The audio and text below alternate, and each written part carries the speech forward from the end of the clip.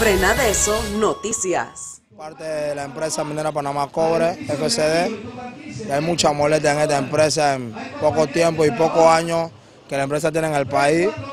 Se ha implantado un régimen entre ellos mismos que ellos son gobernantes en nuestro país. Ellos mismos ponen la dictadura, ellos mismos hacen lo que les da la gana. Y aún aparte, un sindicato amarillo que no representa a los trabajadores como es debido.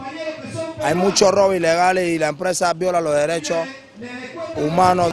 El declaramiento de los derechos humanos fue establecido en 1945, el día 24 de octubre, donde eso fue un de raíz de la guerra, Segunda Guerra Mundial, por lo cual la empresa viola los derechos humanos. La empresa amenaza, somete, son dictaduras cuando votan a los compañeros, cuando la realidad de la vida no tienen el derecho. La empresa, la empresa no cumple con el equipo de seguridad adecuadamente en la área de trabajo. Por tanto, los compañeros por quedarse por su derecho, la empresa agarra y lo vota por el sindicato amarillo, porque el sindicato amarillo es parte de la empresa.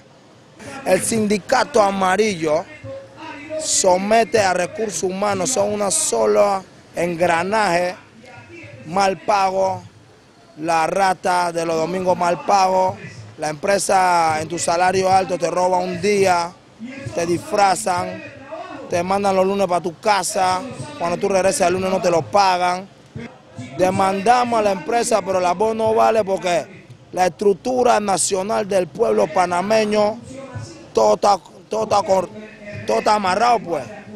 ¿Qué pasa? El sindicato amarillo son asociados con el señor Gabarrete, un señor que le ha plantado a la empresa que tiene el control en la minera Panamá Cobre cuando ha sido mentira. Compañeros que a esta altura no aparecen en el sistema del seguro social. Eso está violando. Nos quitan el salario, nos quitan el sindicato. Sacarle una cuenta aquí de 5 mil personas, 5 dólares de cuota sindical son 25 mil dólares por quincena y al mes son 50 mil. ¿Dónde reposa esa plata? El señor Gabarrete dice que esa plata reposa, ¿dónde? En la cuenta bancaria de la empresa. Si supuestamente un sindicato tiene que tener su cuenta bancaria, por cuanto nosotros los trabajadores pedimos a pie firme a la gente del Suntra, donde sabemos que tiene su estructura formal, sabemos su descuento que es el 2%, pero nosotros sí sabemos dónde reposa ese dinero. Por cuanto nosotros los trabajadores mineros ya nos cansamos de esto, de lo mal pago, a los extranjeros lo ponen a dormir, ellos no tienen paciencia, en, los pasillos, nosotros tenemos que acudirlo a ellos como ser humano porque se ha perdido el amor. Es una empresa que nos vino a tumbar la fauna, pero yo quiero saber qué va a mandar más, el dinero o, o los derechos humanos que tenemos los panameños. Por tanto, hemos peleado muchos años por ser independientes.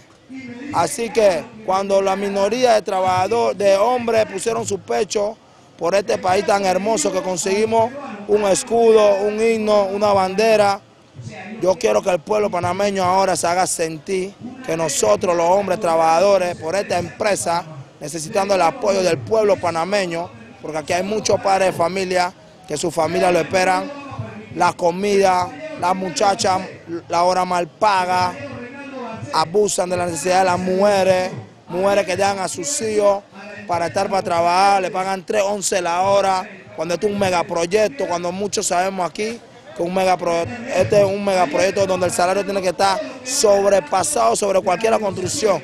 ¿Cómo que una trabajadora aquí en la minera Panamá Cobre cobra 3.11 la hora? No tiene ni el salario de ayudante y el ayudante cobra 3.76. Eso es un robo, es una falsedad. Por eso cuando nosotros trabajadores pedimos al Suntra el apoyo del Suntra y nos paramos en firme en la roca dando respuesta. Si la empresa no piensa doblegarse, los trabajadores tampoco se van a doblegar.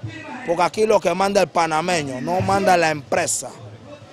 Que se sigan afiliando al Suntra porque han, han hecho artimaña, le damos la oportunidad porque nosotros dicen que el Suntra es violento, eso es mentira. Las empresas ponen a los trabajadores violentos. Nosotros somos hombres con derecho, estudio, con diploma, con currículo que hemos venido esta empresa a declarar nuestra experiencia laboral. Ellos dicen que los extranjeros son los mejores, pegando mentiras que aquí habían 124 filipinos es mentira. Aquí hay eh, más de 2.000 peruanos, más de 2.000 filipinos. Yo convivo con ellos.